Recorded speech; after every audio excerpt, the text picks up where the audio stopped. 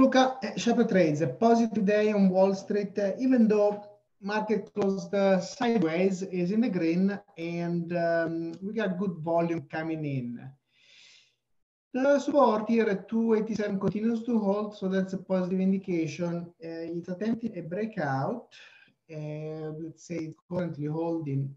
For me, 287 and the channel bottom and the ATMA, all this through, through this area. This is our primary support it needs to hold. Any move below that, if he breaks it, the area that must hold is 273 down at the 50 simple moving average. Right now, there's no indication that's going to happen. All the technicals are, are suggesting sideways consolidation leaning bullish.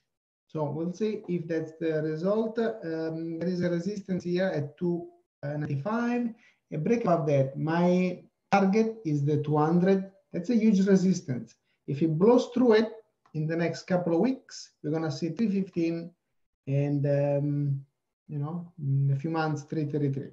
32. But one step at a time, good day today. Let's take a look at the individual stocks. Several uh, popped, several of our swings. Uh, um, our day trades also work very well. So let's get to it. ABO, ABO was uh, a, a swing we initiated on Friday and it's working already. So good volume was coming in on um, on Friday. I gave a message when it was around 250 to 60 area. Broke out today, confirmed the breakout. Volume is great took out the 200 simple moving average, reached my first target 304, extended as high as 328. we are tightening stops now, 295 and 250. Next target 361 and 433 as a start. AMRX, this was a, a day trade, worked very well for um, so it popped and held the support sideways. This is my ideal day trades. Pops, holds nicely the support. The opening price was um, 391. And as you can see, for the next couple of minutes, each candle is a mini bar, mini candle. And um, support held nicely. So that was your that was your stop. Move below that up, right? Pop pulled back the VWAP held nicely and then took out the resistance target at 422 and blowout came as high as uh, 469. Consolidated, pulled back, retest the moving averages, in this case the 21 and the 34 EMA, and then try to go again and made a kind of a double top, try to break out here with a high of 474 it was a breakout on good volume, but it didn't get the follow through. Pull back right here, broke the channel. For me, was done at that point. Send a message, I took profit.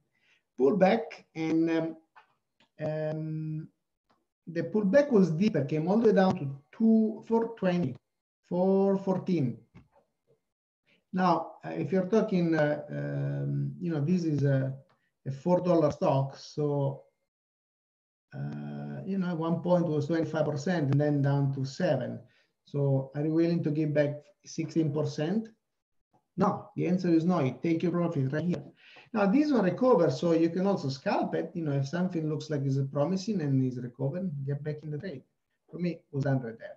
Anyway, this extended closed well actually. It came back up uh, uh, near the 460 area. so looks like has a good potential, maybe as a, as a swing uh, for tomorrow. Could be. Bullish kicker, huge volume. This uh, looks very powerful. My next target is 5 or 7, 6, 16. If it gets going, and we might even see 7 30. Support as a swing, uh, 720, and today low at uh, 390. Again, this for us just a day trade, nothing else to do in regards to that. Avio. Avio is attempting a breakout. The technicals look bullish, very bullish. Today is pushing this obvious resistance 885. Today came as high as 895, 10 penny higher than that, but close below it. I think it's coming. It just needs better volume, more volume. Uh, today was good. Volume was uh, 664. Yesterday was 430. Today and the day before was also six, uh, 700. So it needs more volume to get going. But once it breaks, if this move sideways consolidates, as long as the uh, ATMA continues to hold this as a potential to reach my next targets, 1048, 1245, and 1488. earnings are behind us, looks very bullish, especially with this kind of volume on this day. The 30th, April the 30th, big breakout in huge volume. The support are um, uh, eight. Let's see. Yeah, 8, 820, today low. So let's see, today low, it's 810, and then uh, the 730 area. Please refer to the text message I sent, as well as the chart in the swing area. Avia. Follow up, uh, this also was another day that worked nicely and at a good morning. Pre-market was quite busy. And then as soon as you open, let's take a quick look at all this noise. There it goes. Huge price movement with on big uh, volume. So that was a good indication. Consolidated sideways and then reached my target, 13. And then I pulled back, took out the VWAP. I never like when that happens. And this one came all the way down to the secondary support at 12. At that point, we tightened stops to 1230, 1220, 1230. If you did get stopped out, I sent a message right after that was trying to break again. And it did. Press this uh, 13 and made a pop. Made a pop came as high as 14, uh, 1367, 1365 area. And then broke the channel, number volume increased, and that was done. Nevertheless, uh, also a very good close on big volume. This could extend as well. Keep an eye on it. I like the look of that. Okay, this or whatever.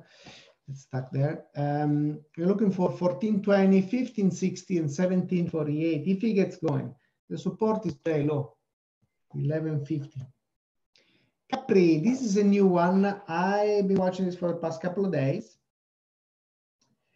And uh, let's open up this a little better so maybe I can get a better look of the whole chart.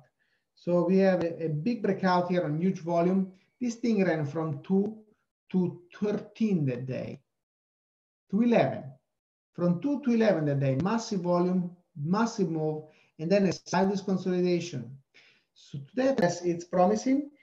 The support are, um, we got, let's see, seven, uh, 750 area, I believe, 730, 750 area, and then the ETMA and the 660 support.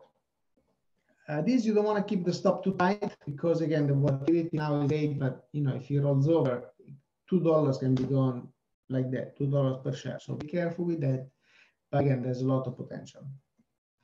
CMRX breaking out is um, popped, uh, popped about above three and came as high as 314 today. The support is now the 280, 280 and uh, 2 240, 280 and 240. My target 345, 4, uh, 417, and uh, if it gets going big, 508. This one also has at a breakout here on big volume. Those are the things you want to see, you want to look for. When you have a breakout and you have the volume, like that kind of huge, and the thing moves sideways or, or you can, uh, or continues to move up, very, very bullish, very bullish sign. Corex, same thing here, big breakout and huge volume, pull back. This one rolled over briefly, and then we re-enter a position right there, and it's working very nicely. Pot reached the target at 14, pull back retest, held the support, and then broke out in past uh, three days, reached uh, my second target today, 1690, closing uh, at 17. So that's bullish, volume is great. My next target, 1932 and 2175. Supports 1540 and 1440, uh, yeah, 14 area. Excel, fantastic. So this one has been, um, gave us a little bit of pain a couple of days ago. So was breaking out here. I gave a message when it was around 25, 2650 as an entry opportunity. This was a breakout with volume. Didn't get follow through the following This was a manipulation by market makers there was no news whatsoever and this thing dropped down. So we got, um, it was borderline because our support was 26 and 25. The low was 25 on that day. So technically we were in, but I took it off the list uh, that day because I didn't like this lower shadow. And, and there was a sell down bar volume. yesterday on Friday uh, showed bullish energies again, pressing 26. I said it needs to move back above 26 for this thing to get going. Today I sent a message when it was 25, 26.50, and it was pushing this resistance trend line. Look very bullish. The technicals were also bullish. Volume was good. See during this volume, that's when I said uh, it was breaking out with volume. And um, and then volume continued to be steady. And uh, my first target is approaching 2769. Volume is coming in. My next target 2940, 3095, and we might even see the channel top near 32. Support are um, we tighten a little bit. 2650. Now, now keep it keep it the same. 26 and 25. I want to get this thing is very very very um, volatile, so you want to get whipped out and then period. FLDM. This is a new one that is uh, working uh, uh, already quite a bit. In the after market is up a five. So this was um, in the idea. I start covering a little bit on Friday as a potential idea on Thursday. Um, but then in the after market was down and Friday was down, but got a recover. Today, I noticed that it was pushing the um, 445, 450 area and it looked good. And then at one point was attempting to break out the 200 simple moving average. I sent a message at that point as a new entry opportunity, as a new trade. This has a lot of potential. Is one of the, I think this one is dealing with um, COVID-19 test, test, test, test, call, test kit, something like that.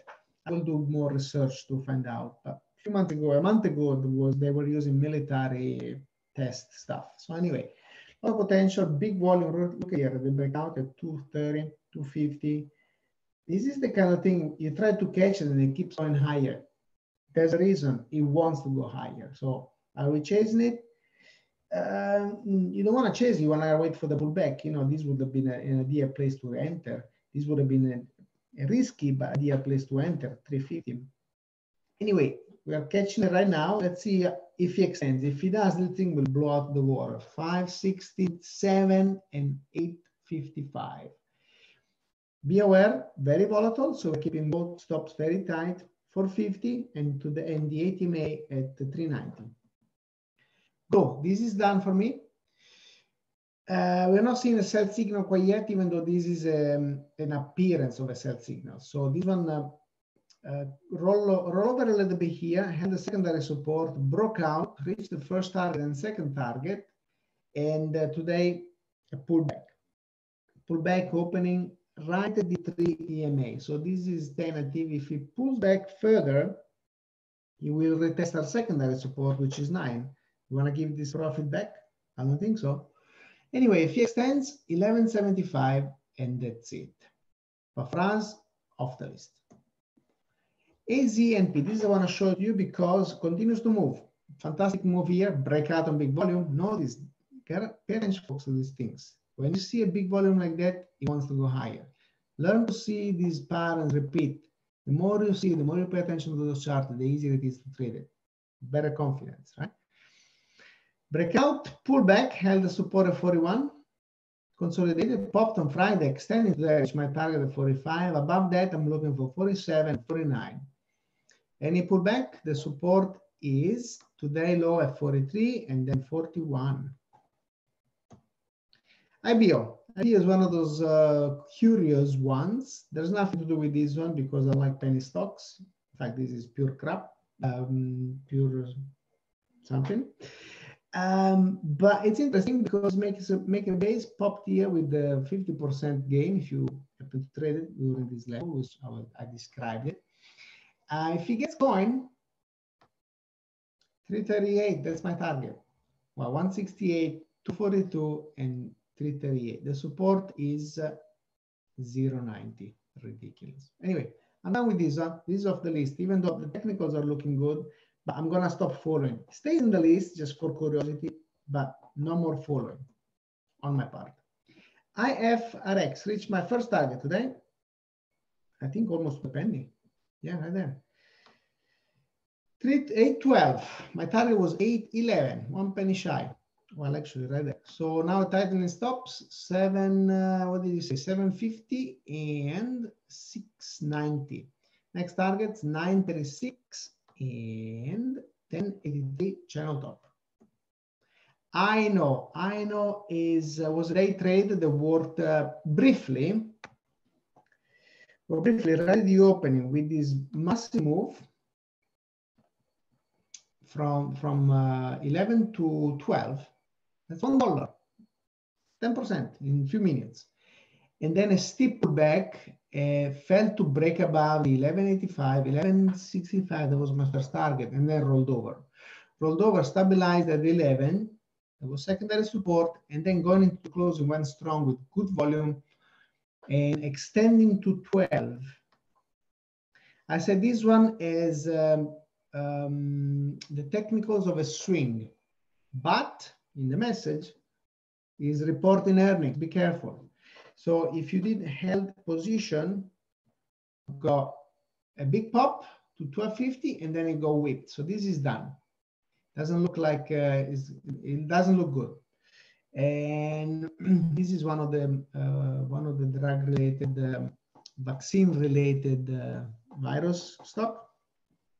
So the bullish, the technicals were very bullish, but the report is not looking good. 1130, 1138 in the after hour market, which means it's going to open right here. And most likely that's a bearish kicker. It will go down unless you, you know, obviously there's a manipulation, but I don't think so. It doesn't look like that. Anyway, then that's it for uh, for the day trade was good. As a swing, if you try it as a swing, right now it's not working. Myrna, fantastic move. Two days reached three targets, four targets. 54.50, 56.40, 62.81, and today 67.49. I said at that point, take profit or raise stops, 64 and 61.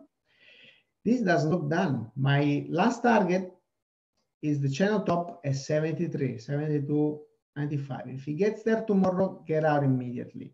Any pullback, the support for me are the same, 64 and uh, 64 and today low was 59 so 64 and 61 keep it the same Peton, Peton is showing weakness. Honestly, I don't like um, this Dunbar volume right here. There's not a lot of it. It's moving inside the state. I break out the 14, uh, 44, 39. That was our target, resistance target. Reached it four pennies shy of it. I wasn't able to break it. So Sideways consolidation, it's okay, but as long as 41 holds, actually this is the low 40, 40, 80. Any move below that, it will roll over. We'll do um, uh, wave one, wave two, wave three, wave four. Could come down here to 36. So be careful if that's the case. But if it breaks above 44.30 and holds 44.50, let's go. My next targets are 47, 67, 51. Remember, this was a fantastic swing that worked very nicely.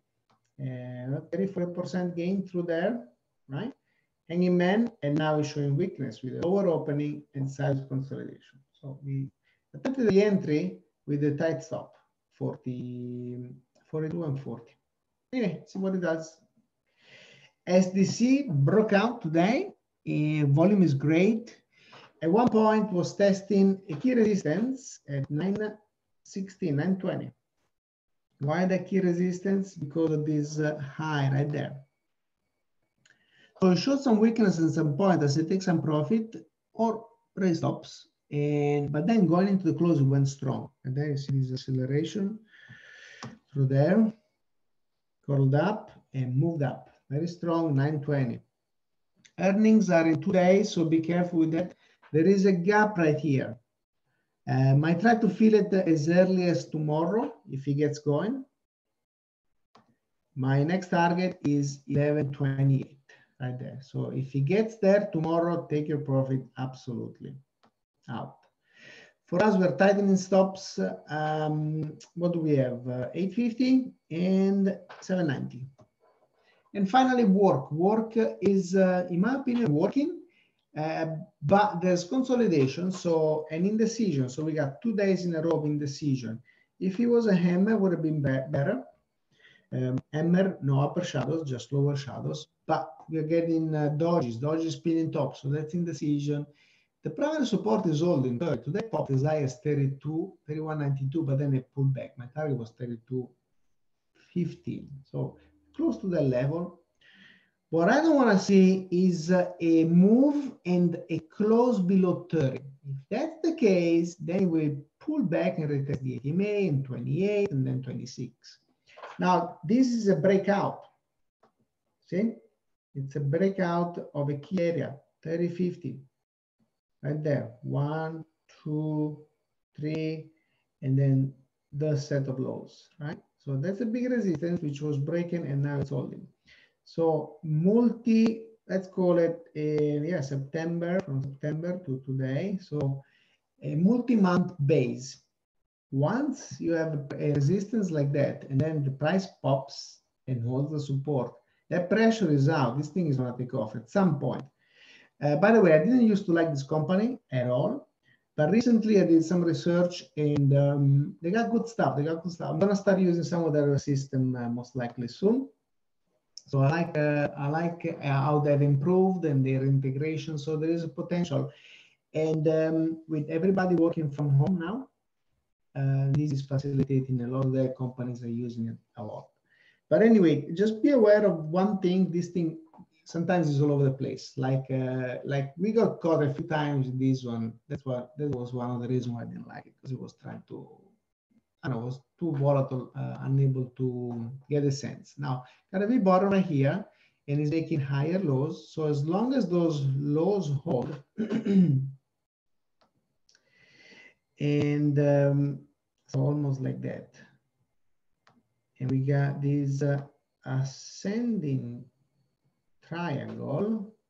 So that is the base right now. Could pull back. I don't think so, but it could pull back. When you have indecision, that's always a possibility. So the 50 simple the moving average and those lows right here, for me, are the line in the sand 25 if you have a, long-term view. But for now, we don't want to risk too much. So 30 and 29 are primary and secondary support. Targets, if this thing get going, 34, 3650, and 39. This thing moves fast, so there's a potential to make a good profit if it takes out 32 and holds. All right, folks, thanks for watching. Good trading. See you tomorrow.